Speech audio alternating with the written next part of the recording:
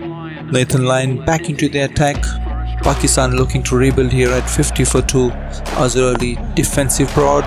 Oh, the Australians are celebrating and Azhar Ali walks back, did not wait for the umpire signal. That is the first wicket for Nathan Lyon, tossed it up. Easy catch for Labuschagne. Goes for 17. Oh, hits the back leg, that's gotta be close. Fawad Alam goes for a duck.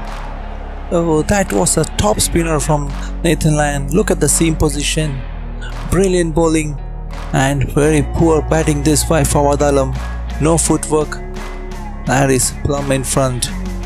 Rizwan is batting well here. Tossed up, step down. Oh, that is not a good shot. Fielder underneath. Catch that easily. That is a terrible shot given the situation. Rizwan goes. Lyon is absolutely dismantling the Pakistani batting order here. Just one fielder out there hits it straight to him. Rizwan goes for 21, 83 for 5 Pakistan. Oh, that's close. Oh, once again, the batsman just walks.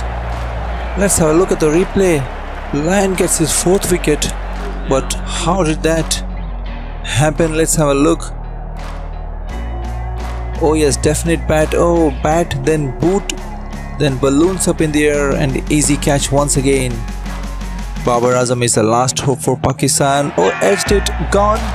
That is the end of the Pakistani captain. What a brilliant bowling display by Nathan Lyon. He gets 5. Babar Azam walks back. Let's have a look at that.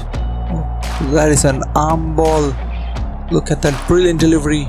Bouncing more than expected. Trying to deflect it. Great catch. And he's gone.